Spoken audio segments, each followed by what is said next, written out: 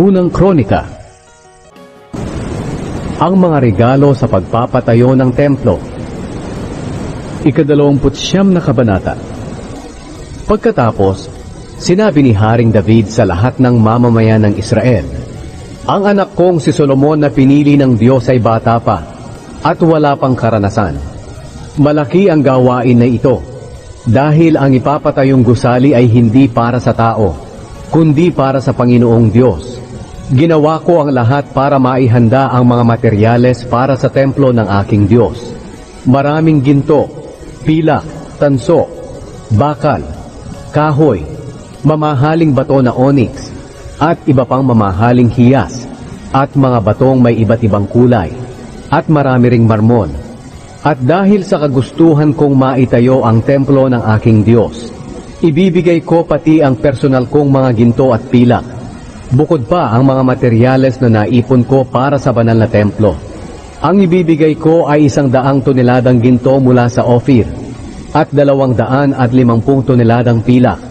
Ito ay gagamiting pangtapal sa mga dingding ng templo at para naman sa lahat ng mga kagamitan na gagawin ng mga platero. Ngayon, sino ang gustong magbigay para sa Panginoon?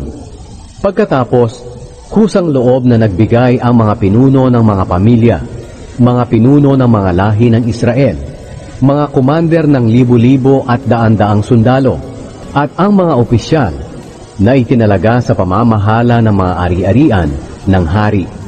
Nagbigay sila para sa pagpapagawa ng templo ng Diyos ng isang daan at pitumput limang toneladang ginto, sampung libong perang ginto, tatlong daan at limampung toneladang pilak, anim na raan at tatlumpung toneladang tanso, at tatlong libo at limang daang toneladang bakal. May mga nagbigay din ng mga mamahaling bato, at itinabi ito sa bodega ng templo ng Panginoon na pinamamahalaan ni Jehiel na mula sa angkan ni Gershon. Nagalak ang mga tao sa mga pinuno nila dahil kusang loob at taus-puso silang nagbigay para sa Panginoon. Labis din ang kagalakan ni Haring David. Ang panalangin ni David Pinuri ni David ang Panginoon sa harap ng mga tao. Sinabi niya, o Panginoon Diyos ng aming ninuno na si Jacob, sa inyo ang kapurihan magpakailanman. Makapangyarihan kayo, kagalang-galang, dakila at kapuri-puri, sapagkat sa inyo ang lahat ng bagay na nasa langit at nasa lupa. Kayo ang hari o Panginoon, at higit kayo sa lahat. Sa inyo nagmumula ang kayamanan at karangalan. Kayo ang namamahala sa lahat ng bagay makapangyarihan kayo, at kayo ang nagpapalakas at nagbibigay kapangyarihan sa sinuman. Ngayon, O aming Diyos, pinasasalamatan namin kayo, at pinupuri ang inyong kagalang-galang na pangalan. Pero sino po ba ako, at ang aking mga mamamayan, na makapagbibigay kami ng nag-uumapaw na kaloob gaya nito? Lahat ng bagay ay nagmula sa inyo at ibinabalik lamang namin sa inyo ang ibinigay nyo sa amin.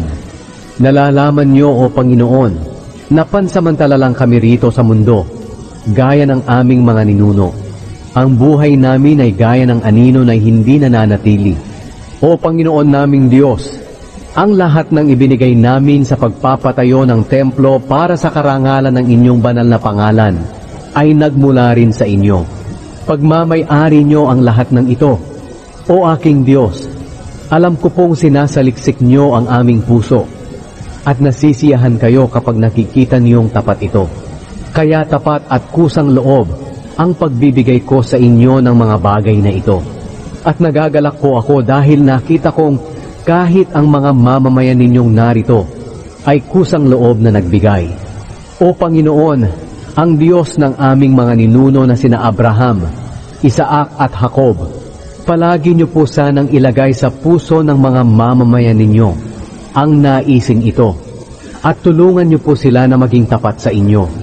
Tulungan niyo rin po ang anak kong si Solomon na lalong maging tapat sa pagsunod sa inyong mga utos, katuruan at mga tuntunin at sa paggawa ng lahat ng ipinatutupad ninyo tungkol sa pagpapatayo ng templo na aking inihanda. Pagkatapos, Sinabi ni David sa lahat ng tao, Purihin niyo ang Panginoon na inyong Diyos. Kaya pinuri nila ang Panginoon, ang Diyos ng kanilang mga ninuno. Yumukod sila at nagpatira pa bilang pagpaparangal sa Panginoon at sa kanilang hari. Kinilala si Solomon bilang hari. Nang sumunod na araw, nag-alay sila sa Panginoon ng mga handog na sinusunog, isang libong toro, isang libong lalaking tupa, at isang libong batang tupa. Nag-alay din sila ng mga handog na inumin at iba pang mga handog para sa mga Israelita.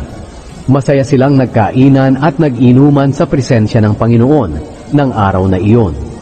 Muli idineklara nilang hari si Solomon na anak ni David. Pinahiran si Solomon ng langis sa presensya ng Panginoon bilang hari at pinahiran din ng langis si Zadok bilang pari. Kaya umupo si Solomon sa trono ng Panginoon bilang hari, kapalit ng ama niyang si David.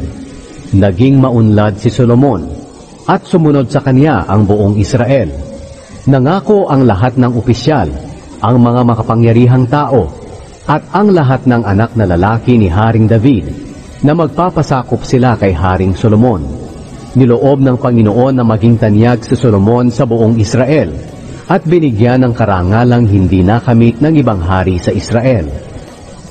Ang pagkamatay ni David Naghari si David na anak ni Jesse sa buong Israel sa loob ng apat na pung taon, pitong taon sa Hebron at tatlumput tatlong taon sa Jerusalem.